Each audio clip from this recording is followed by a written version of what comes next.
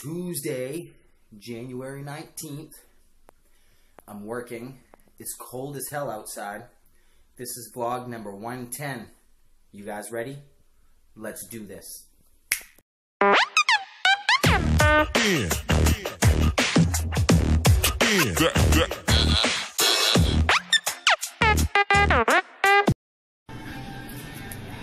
I figured today's a good day to show you what I do in my job.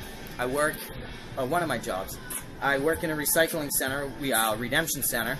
Uh, we sort and count bottles. In the state of Maine, there is a deposit on beverage containers. People come through the door there.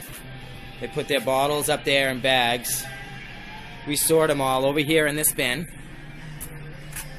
Uh, like different things go in different boxes. Uh, Gatorade, plastic, big juice, soda cans, beer cans, small soda cans, uh, plastic, big plastic, you know, two liters, one liters, Poland Spring.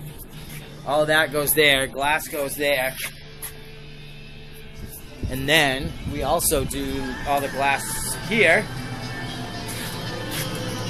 Separate the beer from the wine, from the from the liquor. We have different distributors that pick up, and uh, what you see here for boxes is only a small part of how much we have to separate it. Some of those boxes actually get 12 to 15, some of them even 20 different products that in the back room get separated down even further. Like this is our back room here, ready to go outside. And that's where we store shit waiting to be picked up. And then in this room, we sort it down even more. More storage back there. And more storage there. So yeah, we do a lot of, we recycle shit and they use it. Other companies buy it, pick it up off of us, and then they sell it to companies that make like uh, fleece clothing or new soda bottles even. That's what it's all about.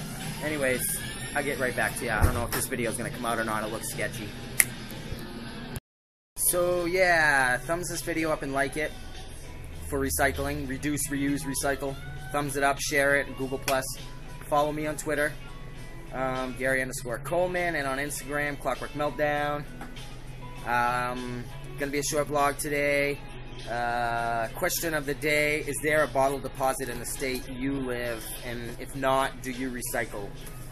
That's the question. Is there a bottle deposit in the state you live in? That's the question of the day. For now, I'm out. I'm gone. Thank you all for watching. I will be back another day.